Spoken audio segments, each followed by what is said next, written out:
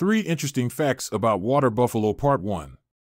1. Water buffaloes are the second most prominent members of the Bovidae family. 2. Water buffalo's milk has higher protein, calcium, lactose, phosphorus, and iron levels than regular cow's milk.